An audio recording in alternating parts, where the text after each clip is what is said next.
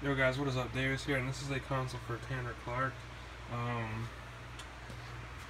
it has blue LEDs, and it also has a blue indicator glitch light. As you can see, it insta-boots. So yeah, it's a pretty sweet console. It's a Trinity RGH2 with the HP3 installed.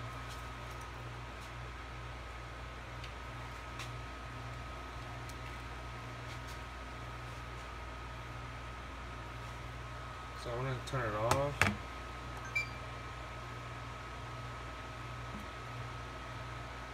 Still turn it off.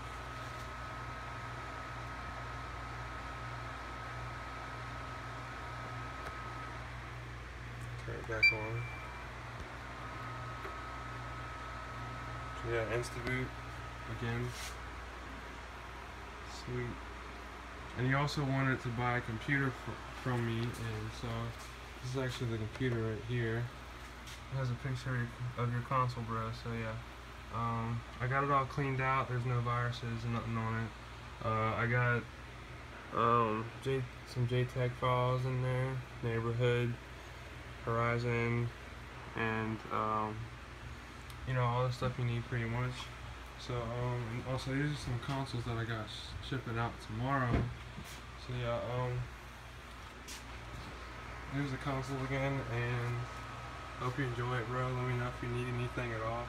Peace out.